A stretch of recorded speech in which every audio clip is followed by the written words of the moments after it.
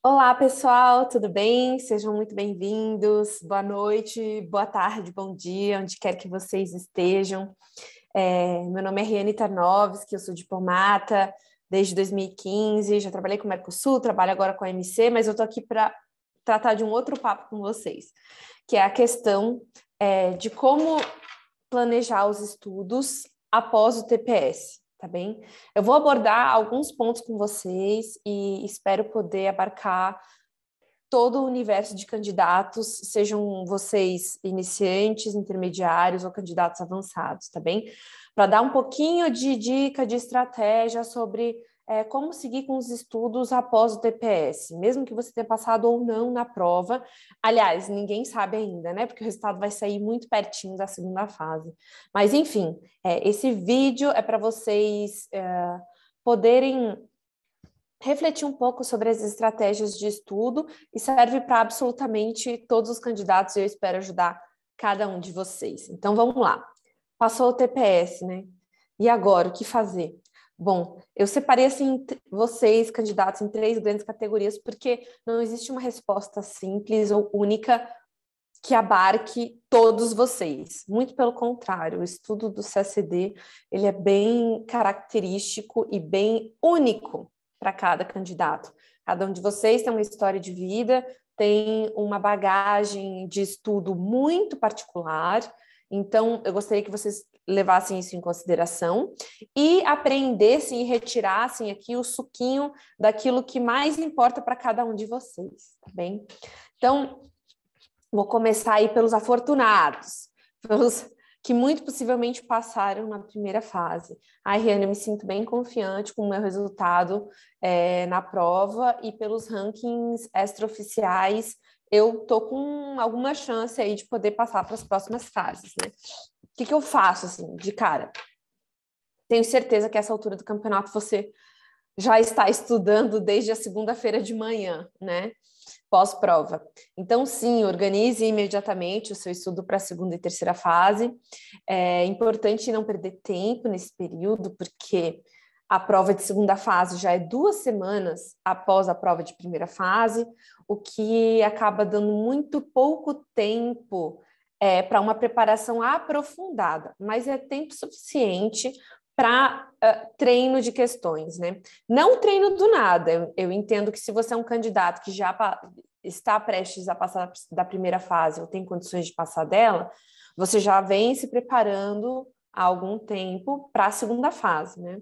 Pois bem, esse período de duas semanas vai ser muito concentrado em treino de questões de segunda fase. Então, muito voltado para treino de português e de inglês. É claro que nada impede você de contratar um curso voltado especificamente para a segunda fase e segunda fase de 2022, né? Então, um curso que obviamente vai durar só duas semanas, porque entre uma fase e outra, mas que vai te dar muita bagagem e muito feedback em especial do professor com relação às suas correções, tá? Com relação aos exercícios tanto de língua portuguesa quanto de língua inglesa. Não descuidem, em especial, do idioma inglês, porque ano passado, se vocês já vêm acompanhando o concurso há algum tempo, vocês sabem que a segunda fase de língua inglesa foi aquela que mais eliminou candidatos é, desde o TPS. Então, muita gente mesmo foi eliminado, foi assim, é, muito ruim, foi triste de ver, porque eu acho que a correção é, do lado pessoal falando agora, eu acho que a correção foi muito é, rigorosa, de forma exagerada. Eu espero que a banca corrija essa mão e não repita isso este ano. Mas, de toda forma, isso fica, fica, apenas um alerta, mesmo você que já se garante inglês, que já treina há muito tempo, que se sente confiante, é, não não deixe a peteca cair, tá? Não subestime o poder da banca de ser hiper rigorosa na correção da prova de inglês. Então, a dica inicial é essa: se você é, quer se sentir mais tranquilo, se você tem tempo e recursos financeiros para poder investir um, em um curso de segunda fase, eu super recomendo. Se você tem recursos financeiros limitados, mas consegue investir alguma coisa, eu diria treine inglês por essa razão que eu acabei de explicar, tá? Então, invista em um curso de inglês de segunda fase. E se você não tem recurso financeiro para investir em nada neste momento, isso tampouco é um problema. Treine por conta é, o máximo que você puder, tá? Tanto língua portuguesa quanto língua inglesa. Utilize as provas anteriores para fazer os treinos. Elas são o melhor exemplo de treino e o, o guia mais específico para a prova de vocês, para o CACD. Então, vocês podem se basear muito nos guias de estudos também dos anos anteriores, que são as melhores e as piores respostas dos candidatos que passaram no concurso nos últimos anos, bem? Só que, Riane, tá bom, então essas duas semanas eu vou focar muito em português e inglês, segunda fase, mas e a terceira fase, que vem dali a três semanas, o que, que eu faço, né? Então, é, eu até coloquei uma sugestão para vocês, um maisinho, revisão para a terceira fase em duas semanas. O que, que isso significa? Significa que há alguns temas que vocês podem estudar que caem tanto para terceira, caem tanto em terceira fase quanto possivelmente em segunda fase, né? Então, a, a, prova de língua portuguesa e de língua inglesa, elas têm uma preferência, digamos assim, por alguns temas da área de política internacional. Porque das disciplinas, como já comentei com vocês em outras ocasiões, é a mais transversal de todas do concurso. Então, nessas duas semanas, o que vocês podem fazer é estudo de atualidades e de temas quentes de política internacional, tá? Isso já vai preparar vocês tanto para uma possível questão de terceira fase de PI, quanto vai munir vocês de subsídios, de argumentos, para vocês poderem usar numa redação de língua portuguesa ou de composition na prova de inglês. É, Economia também tem algum tema, alguma parte de economia que envolva política internacional, geopolítica. Eu focaria mais nesses temas, tá bem? E não continuo, eu, eu não estudaria, porque é muitíssimo pouco tempo, então eu não estudaria outros temas de terceira fase especificamente nessas duas semanas. Por quê? Bom, em primeiro lugar, toda a revisão que vocês já fizeram até agora, até fazer o TPS de domingo, é, é uma revisão que já contempla, por si só, todo o conteúdo também de segunda e terceira fase, tá? com exceção das línguas uh, espanhol e francês. Tirando espanhol e francês, você já vem treinando em termos de conteúdo há algum tempo, alguns meses, né? Então, o, o conteúdo está bem fresquinho na cabeça de vocês. Então, não se preocupem de ficar estudando, revisando já para a terceira fase agora nessas duas semanas, tá? Cada dia o seu mal, já dizia Jesus. Então, foquem na segunda fase, um passo de cada vez. Foi a primeira fase agora no domingo, dia 17, e agora essas próximas duas semanas é foco quase total para a segunda fase. Lembrando que você consegue dar uma antecipada em estudo de PI, porque ele vai ser subsídio e conteúdo para você na prova de segunda fase. Então, é, é uma dica aí que eu dou para vocês, uh, treinarem muito questões e, e, e, e exercícios mesmos de segunda fase, tanto de língua portuguesa quanto inglesa. E se vocês puderem contratar um curso específico nessas duas semanas, eu recomendo muito que façam. Se tiver que escolher entre um, um idioma e outro, é, deem preferência para o idioma inglês, porque é o que tem mais feito diferença nos últimos anos, tá bem? Ok, esse é um grande grupo de candidatos. O segundo grupo, que ficou satisfeito com o seu resultado no TPS, mas que não sabe se vai passar, é, não sabe o, o, quão, o quão concreto vai ser a expectativa do ranking oficioso. E, e, e agora, né? Se eu estou nesse limbo, minha recomendação é: qualquer limbo no qual você esteja, não deixa para tirar dúvida quando chegar o resultado, né? Prepare-se sim para a segunda fase. Uma, o pior que pode acontecer é você não passar para a segunda fase, mas o conteúdo, o treino, o aprendizado vai permanecer com você para o próximo ano, para quando você de fato passar no concurso. Agora, se você, então, ou seja, né, na dúvida, estude e prepare-se, tá? Para a segunda fase. Agora, se você é iniciante, acha que não tem chance nenhuma de ter passado no TPS, é, ou se você tem certeza disso, ok. Ou se você não é iniciante, é, é um aluno já intermediário ou até avançado, mas que não teve o, o resultado que esperava no TPS e tem certeza que está fora de cogitação passar para a segunda fase, Então, a minha sugestão para você é seguir o seu planejamento de estudo, tá? Seja ele de longo prazo ou curto prazo. Se você é iniciante e já tinha vários cursos contratados, já vinha, já tinha um planejamento específico, seja ele de três meses, seis meses, oito meses, um ano, continue seu planejamento. A prova, sim, é uma excelente ferramenta de treino para você, mesmo os iniciantes, recomendo todo mundo a fazer a prova. Ah, estou estudando só um mês faça a prova, tá? Até para tirar aquela ideia que muitas vezes a gente tem, acho que quase todo candidato tem, de que o TPS é um bicho de sete cabeças. Não é.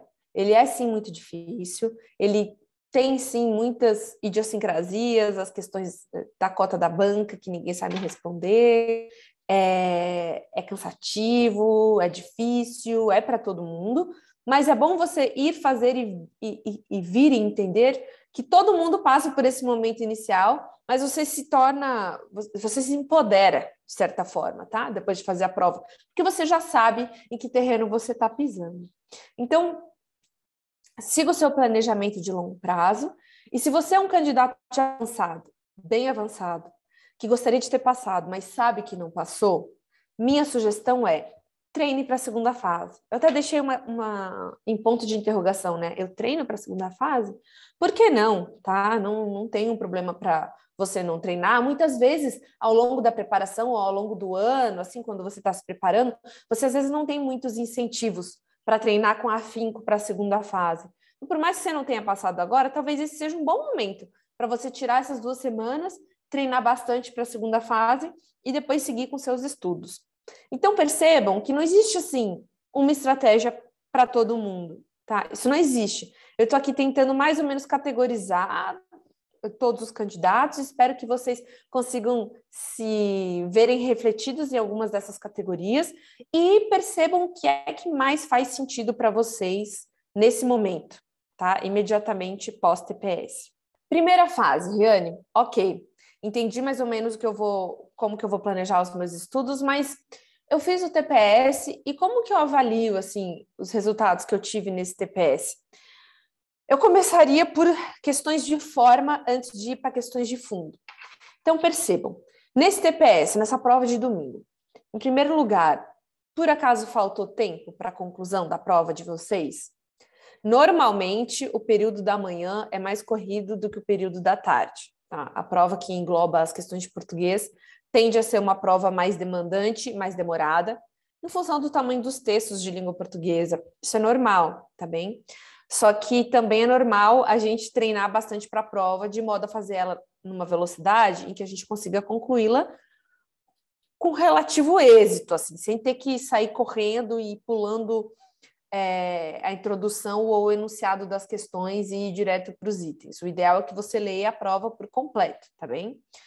Então, se faltou tempo para a conclusão da prova, isso é um indicativo, não estou dizendo que é isso, mas é um possível indicativo de que faltou treino, tá? Para treino de, de leitura e de fazer questões dentro do tempo de prova. Então, possivelmente faltou fazer mais simulados, treinar simulados. E quando eu digo treinar simulados, é o simulado ser uma prova de um TPS anterior, na qual você se dedica em casa a simular de fato a prova, tanto o período da manhã quanto o período da tarde. Isso é bem importante. Então, assim, esse é um diagnóstico que vocês precisam fazer. Deu tempo ou não deu tempo? E se não deu, o que, que eu tenho que fazer para melhorar? Treino e simulados de provas anteriores. Tá bem? Uma outra questão de forma, nem tão de forma assim. Itens em branco. Deixei muitos itens em branco? Deixei poucos? Agora, com a penalização menor do que anteriormente, como eu já conversei com vocês, vale muito a pena vocês não deixarem itens em branco, em especial se você é um candidato já de estudo intermediário avançado, aí mesmo é que não vale a pena. Então, uma coisa que eu gostaria que vocês fizessem. Se não fizeram nesse TPS, fica aí a lembrança para fazerem para os próximos e também nos simulados em que vocês forem fazer. Toda vez que vocês deixarem o item em branco, escrevam do lado, em algum cantinho, o que é que vocês assinalariam naquele item, se certo ou se errado, tá bem?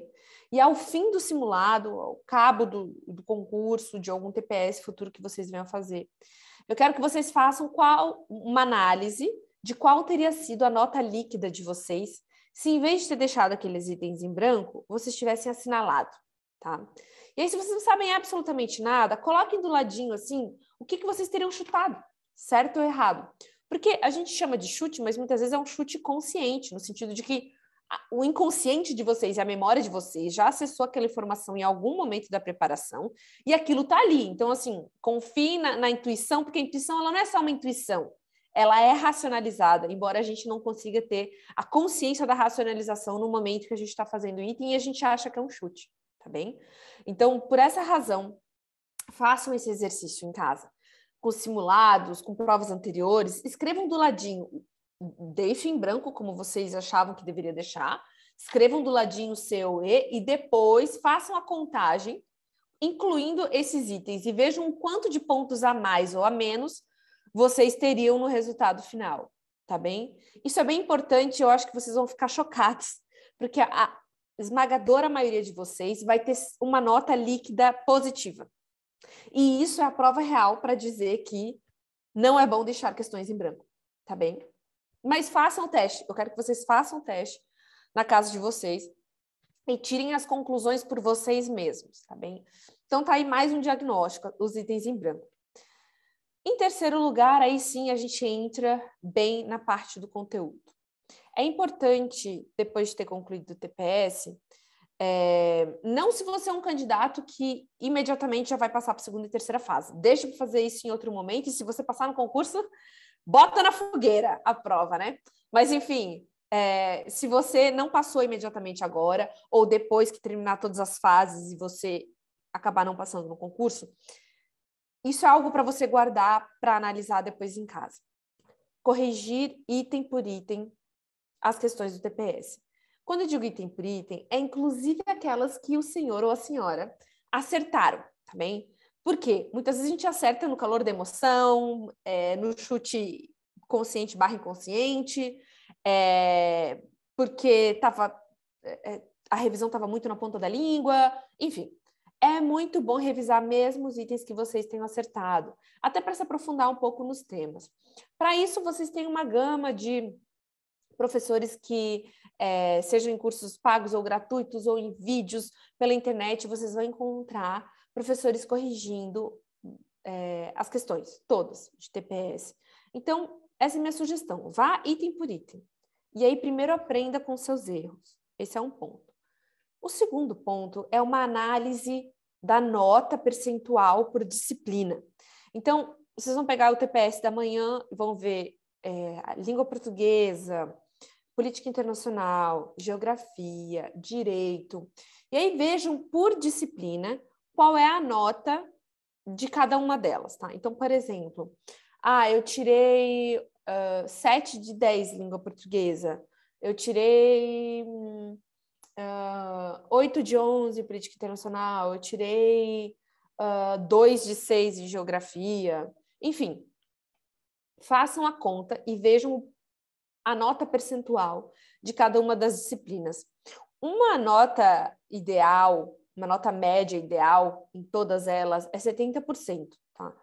E, e eu digo essa nota desde sempre, não importa o, o, a nota de corte dos TPS, porque ela é uma nota segura, Acho que só o TPS de 2013 teve uma nota de corte acima de 70%, e porque foi uma particularidade daquela prova, que tinha muita questão na época, múltipla escolha misturada com certo e errado, tinha mais questão de múltipla escolha, o que acabou gerando uma, uma disfunção na nota final. Mas 70% a 75% é uma nota bem razoável para você ter como objetivo de cada uma das disciplinas.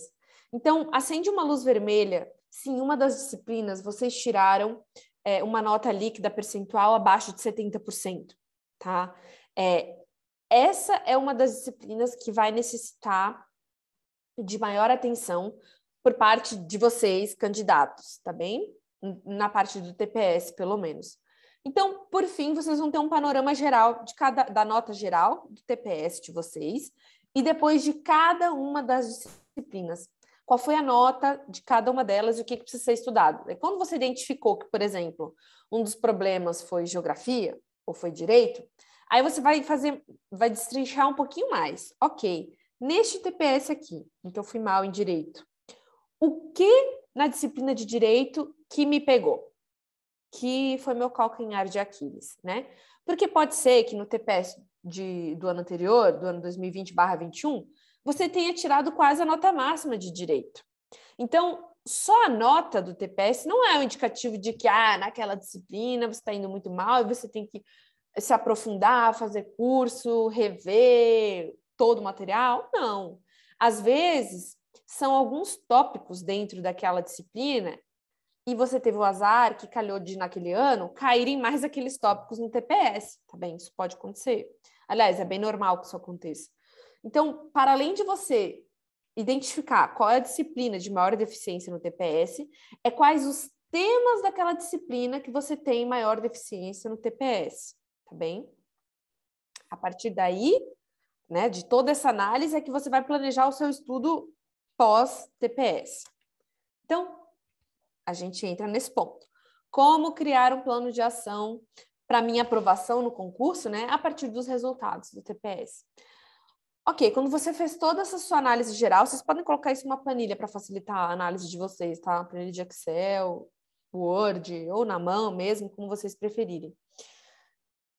Quando você identificou disciplinas e temas, eu gostaria que você, candidato, candidato, fizesse uma análise daquilo que você já fez na sua preparação até agora. Então, quais cursos que você já concluiu? Você é um candidato que já passou pelo curso regular de todas as disciplinas?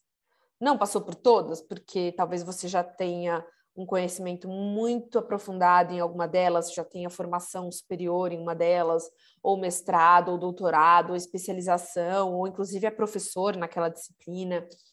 É, ou se você sempre vai muito bem no TPS naquela disciplina e considera que é desnecessário fazer um curso adicional para ela. Então, essa é uma análise. É, com base naquilo que você identificou de disciplina e tema, é o momento de fazer um curso de aprofundamento daquele tema? E aí, quando eu falo de temas e cursos de aprofundamento, eu vou apontar um que eu sei que a maioria dos candidatos que eu conheço e que está é, buscando se aperfeiçoar e melhorar de acordo com o resultado do TPS, busca. E uma dessas disciplinas é a economia. E aí eu até me coloco assim como o exemplo maior, porque isso aconteceu comigo mesma. Para mim, minhas maiores deficiências, depois de dois TPS que eu parei para fazer toda essa análise que eu estou explicando para vocês, é, eram economia e idiomas. Idiomas em geral os idiomas estrangeiros, inglês, francês, espanhol. Bom, com base nesse panorama, o que, que vocês podem fazer? Economia, gente, às vezes não é o edital inteiro, tá? Economia é um edital já super extenso, mas a maioria dos candidatos tem facilidade, por exemplo, com formação econômica do Brasil, com economia internacional, mas o que às vezes acaba gerando uma dificuldade é microeconomia, contabilidade nacional, é, balanço de pagamentos, às vezes é um tema dentro do tema, entende? Então, é balanço de pagamentos dentro de contabilidade nacional, às vezes acaba sendo um calcanhar de Aquiles. É esse tipo de análise que eu gostaria que vocês fizessem. E aí, quando vocês identificaram o problema, vejam se alguma obra sugerida por professores ou que vocês conheçam na comunidade CSDista é o suficiente para corrigir essa deficiência em vocês, ou se vocês acham que valeria a pena investir em um curso curto, específico, voltado para aquela necessidade de vocês. Pelo amor de Deus, não voltem a fazer um curso regular da disciplina inteira. Não façam isso com vocês. Isso vai desmotivar vocês, vai fazer vocês verem e reverem um monte de tema que vocês já conhecem, que vocês estão com, com um cansaço de, de e, e que é repetitivo e que vai acabar sendo monótono e vai desestimular, ao contrário de estimular o interesse e o aprofundamento do tema por vocês, tá bem?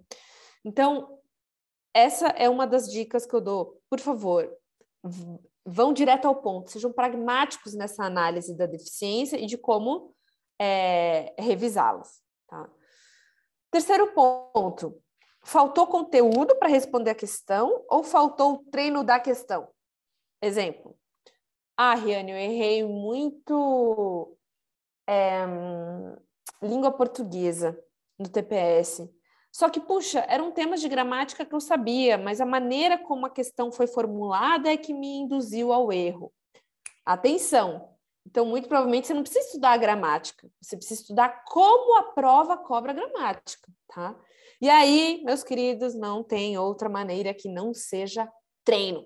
Então, assim, busquem várias questões passadas do TPS, ainda que seja a banca do CESP, tá? Porque a banca do IADES, ela segue é, um, ela segue um, um método, uma, uma, maneira de perguntar muito parecida com o que o CESP barra Sebrasp vinha fazendo. Então, assim, mergulhem nesse universo de questões que, que existem, são muitas, do CESP naquela disciplina, Muitas vezes você pode até fugir do CACD, porque a gente acaba se viciando nas questões passadas do CACD e às vezes até decora as respostas, né? Então não se auto-sabotem, tá bem? Então, por exemplo, língua portuguesa. O CESP faz um milhão de concursos pelo Brasil é, cobrando língua portuguesa. Vocês podem fazer.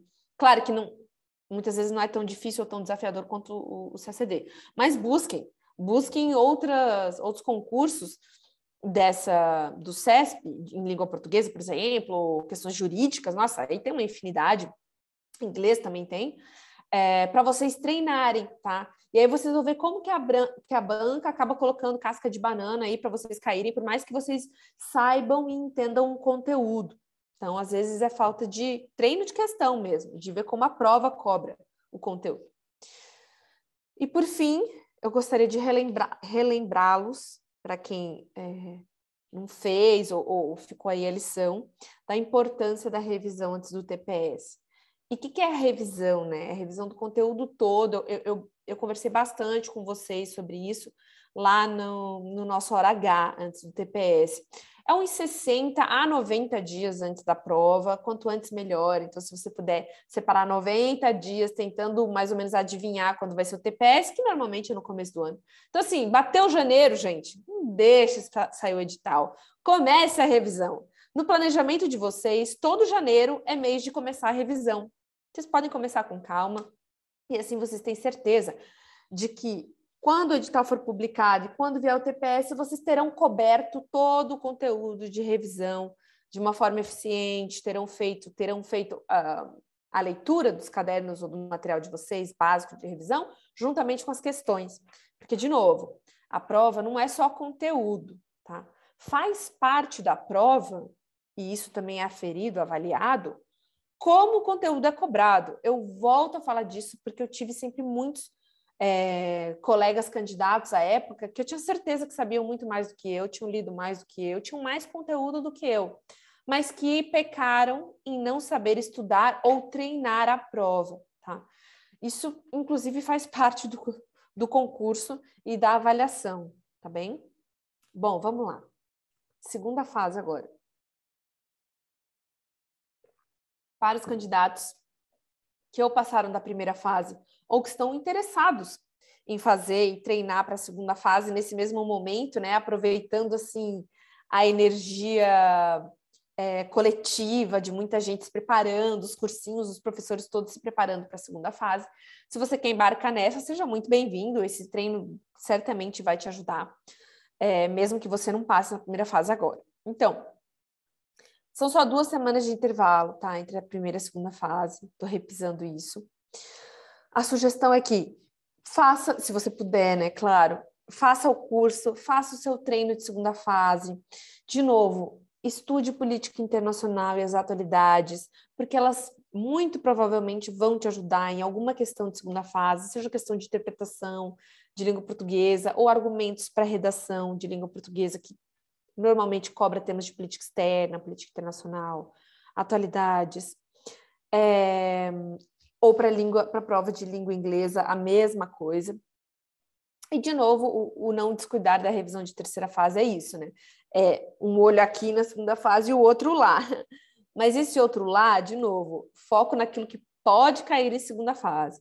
Então, economia, é, geopolítica, política internacional, algum tema de direito, que esteja ligado a um tema de política internacional do momento, sempre cuidando de fazer essa transversalidade, porque isso, para além de ser cobrado, vai ser avaliado na prova de segunda fase de vocês, tá bem? E a terceira fase? Uma vez concluída a prova de segunda fase, como que a gente faz a preparação de terceira, né? De novo, a gente vai ter assim somente três semanas para concluir a preparação de muitas disciplinas. Porque se entre a primeira e a segunda fase eu tenho só duas semanas, eu também tenho só duas disciplinas, em tese, né? Português e inglês.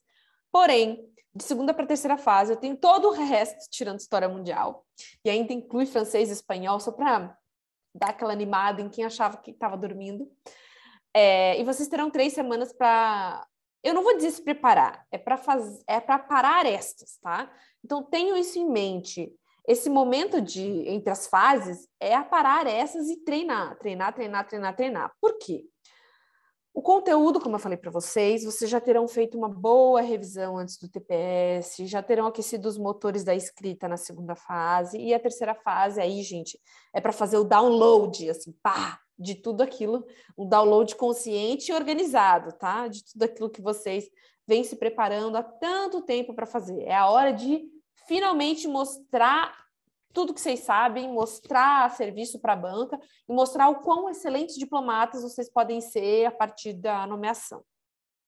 Então, é, dado essa, essa palavra inspiradora para vocês, a minha sugestão de novo é atenção e cuidado com os cursos, tá? Sim, é para vocês treinarem questões discursivas, mas é quase que humanamente impossível vocês conseguirem fazer cursos de todas as disciplinas e mais, fazerem as questões que todos os professores de todas as disciplinas proporem para vocês durante essas três semanas. Então, é um momento de fazer assim é, escolhas e escolhas pragmáticas e planejadas. Então, de novo, vai contar muito o fato de vocês saberem qual é o calcanhar de Aquiles de vocês, qual que é a disciplina de maior dificuldade, então vocês vão focar em treinos de, de questão discursiva mais dessas disciplinas do que outras. Se você é uma pessoa que lida muito bem com a história do Brasil, ou já fez a terceira fase no passado, tirou boas notas na terceira fase, ou, ou bem razoáveis naquela disciplina, você sabe que esse ano você sim vai treinar essa disciplina, mas quem sabe não vai fazer ou um curso ou todas as questões que o professor propor para essa disciplina, tá bem? Então é uma questão de análise, quanto tempo eu tenho quanto eu posso investir nos cursos e o que de fato eu vou fazer daquilo que me for proposto, tá bem? E isso é individual de cada um de vocês que vai estar se preparando para a terceira fase. O que é bem essencial fazer? Pelo menos prestar atenção nas aulas dos cursos que os professores vão dar, porque normalmente curso de terceira fase de três semanas, ali entre uma fase e outra, o professor que é especialista no assunto, que está mais de uma década preparando os candidatos para isso, ele se incumbe de selecionar os temas que ele considera ser os mais quentes, ele vai passar esses temas para vocês, e inclusive ele vai passar possíveis questões sobre esses temas e o que, que tem que estar tá nas respostas sobre aqueles temas. Então é muito importante que pelo menos vocês tenham esse conteúdo. Tá? E aí vem o pulo do gato, a diferença de fazer uma revisão só de primeira fase para terceira. Que na terceira, o professor a ele foi delegado esse trabalho de análise daquilo que pode cair, daquilo que vem caindo todo ano. Algumas bancas têm uma certa previsibilidade daquilo que tem uma maior propensão a cobrar, e uma delas, em terceira fase, é prova de direito. Então, é bem comum que os professores de direito acertem na mosca, na mosca, as questões cobradas. Então, tá aí um exemplo de prestar muita atenção, porque aqueles argumentos da aula se você não gravou, o seu, o seu candidato concorrente gravou e ele vai tirar a nota máxima ou perto disso, tá bem? Então é, é esse cuidado que eu gostaria que vocês tivessem. Tá? Então, isso é o treino nessas três semanas. Mas, Reane, então eu faço, eu só vou ter tempo então de, de fazer o curso, assistir a aula para pegar o conteúdo e treinar a questão. Não é só isso, tá? na medida do possível, façam a revisão da revisão. O que, que é isso? É um material que vocês usaram lá na primeira fase, deem uma é, estudada transversal, uma revisada em cima dessa revisão transversal, em especial em cima dos tópicos quentes que os professores recomendarem para vocês. E, e, para além de tudo isso, eu tenho é, algo para sugerir para vocês que eu chamo de o booster da revisão. Acho que muitos de vocês já fazem isso já fizeram no passado, mas é bom que faça nesse momento. Ele, esse booster da revisão ele é indicado bem para este momento entre segunda e terceira fase. que é a revisão dos guias de estudos. Quando eu digo revisão, é porque em tese vocês já deveriam ter lido. Mas se vocês não leram, não pense assim, ai meu Deus, eu tô agora aqui bem, bem é, prestes aí para a segunda barra terceira fase, a Riene me falou isso, eu nunca nem li, calma, não se desesperem, tá? Nesse período vai dar tempo de ler pelo menos os últimos dois anos aí dos guias de estudos. Se você nunca ouviu falar em guias de estudos, vai saber agora e já vai aprender para incluir no seu portfólio de estudos para os próximos anos. O guia de estudo é o guia com as melhores e piores respostas dos candidatos aprovados nos últimos anos, desde sempre, tem pelo menos desde a década de 90. É, os principais guias de estudos, claramente, são os dos últimos anos. Eu recomendo a leitura dos últimos 10 anos, mas os principais são dos últimos 5, e se você está indo para a segunda e terceira fase e nunca leu, os últimos dois, tá bem? E, Riane, mas então eu vou ler, é, no que, que isso vai me ajudar? Vai ser só conteúdo? Olha, a minha dica de estudo não é só ler, não. Tá? É uma coisa que eu chamo de leitura dinâmica e é uma espécie de treino barra leitura. Então, não é algo totalmente passivo, não. E aí, a sugestão qual que é? Pega o guia do ano passado, por exemplo. Leia as questões é, da disciplina que você for se preparar. Bom, agora, no caso de terceira fase, todas, né? Então, vou começar por História do Brasil ou Política Internacional. Pegue a prova de Política Internacional, Leia as questões, são quatro de todas elas. Leia o enunciado, não leia a resposta, tá? Com base no enunciado, a minha sugestão é: faça um brainstorm daquilo que você responderia se você fosse o candidato sentado para fazer a questão de terceira fase. Sugestão é que o brainstorm dure em torno de cinco minutos, cinco a sete minutos. Porque vamos fazer uma conta matemática. Você tem quatro horas para fazer a prova, quatro questões, uma hora por questão. Nessa uma hora, você tem que fazer o brainstorm, a organização do seu brainstorm e redigir a questão. Tá fora de cogitação é, você fazer rascunho na terceira fase. Absolutamente fora de questão. Ninguém faz, não existe tempo hábil para fazer.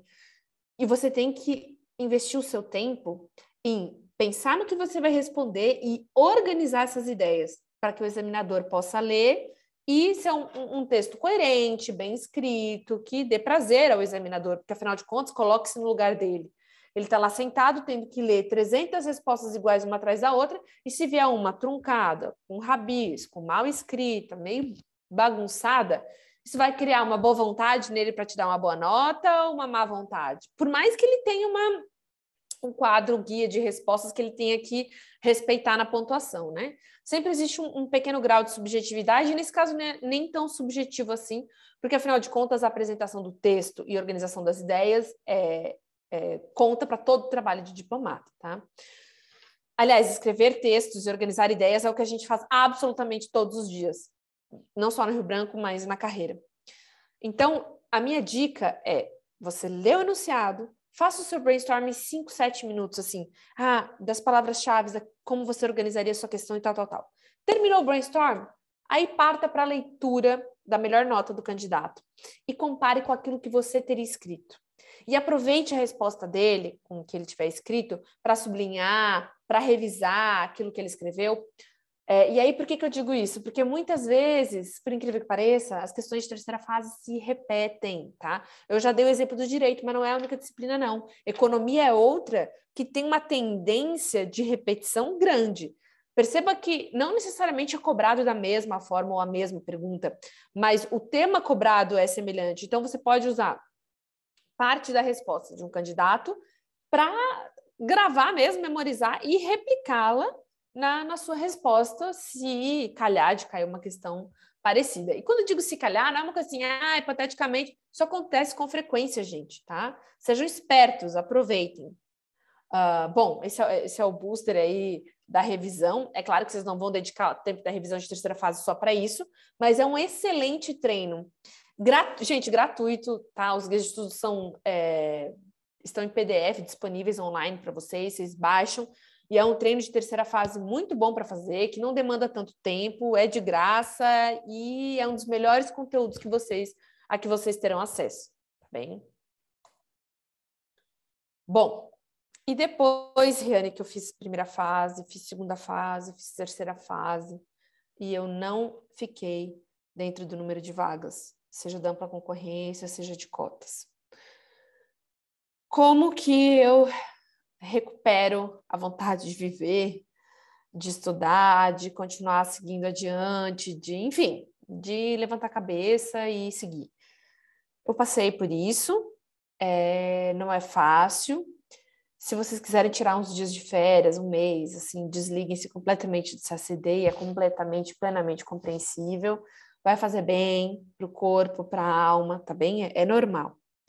Mas voltem, porque só passa no concurso quem tem persistência e quem tem inteligência para aprender com os próprios erros, tá bem? Então, de novo, aquela mesma análise que eu conversei com vocês sobre o TPS, vocês podem replicar ela para as questões de segunda e terceira fase e TPS como um todo, porque muitas vezes você pode ser um mais em geografia no TPS, mas a nota de terceira fase ainda deixa a desejar. Opa, então, isso é mais um indicativo.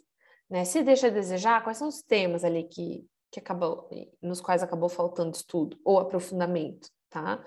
Então, façam também essa análise, joguem numa planilha, uma tabela, ou façam à mão, né? As notas também por disciplina de terceira fase, o que, que acabou faltando, é, depois o desempenho por tema dentro de cada uma das disciplinas. E aí vocês vão definir a estratégia a seguir. Se é contratar algum curso, se é fazer aprofundamento é, do estudo daquele material por meio de leitura. Se o material base de vocês, de revisão, está incompleto, se faltou algum tipo de, de estudo aprofundado lá, ou que vocês até já leram a obra X, mas nunca trouxeram trechinhos dela ou, ou informação importante dela para dentro do caderno de revisão de vocês, tá? Ou, ou, isso é bem comum, se faltou treino de questão. E quando eu digo treino de questão, não é só a primeira fase, não, hein? É segunda e terceira fase também. Quer ver outra coisa que pegou muito, muito candidato bem avançado ano passado? Foi a prova de terceira fase dos idiomas francês e espanhol. A banca de novo errou a mão. Eu estou pondo bastante culpa na, na banca, mas você, candidato, na hora que chegar a prova, é a prova da sua vida. Tá? Então, você tem que uh, também aprender a ter jogo de cintura na hora que a prova cai assim em cima da sua, da sua mesa e você percebeu que o tamanho da prova é, é muito maior do que dos anos anteriores ou daquilo que você estava acostumado a treinar. Então, o que pegou muito candidato foi a prova de francês e espanhol ser longa demais. E aí, muito candidato não conseguiu concluir a prova, mesmo. Gente que já está treinando, fazendo prova há 4, 5 anos e não conseguiu concluir. Deixou, assim, a, a, tradução do francês no meio do caminho. Quando digo meio do caminho, assim, porque tinha dois parágrafos, parou no início do segundo parágrafo, tá? Então, assim, com muito cuidado. Por quê? Porque a pessoa estava acostumada em terceira fase de espanhol e, e francês, fazer rascunho. Antes eu falei para vocês que não dava fazer rascunho de nada, né? É, me corrijo. Na prova de francês e espanhol dá para fazer rascunho, mas cuidado, com esse cuidado de vocês de ver se a prova é muito longa, às vezes é melhor fazer direto na folha de respostas, nem que de vez em quando você tenha rasura, do que não fazer porque acabou o tempo, tá? Então, muito cuidado com isso. E nada melhor para indicar para vocês se vai dar tempo ou não, o treino.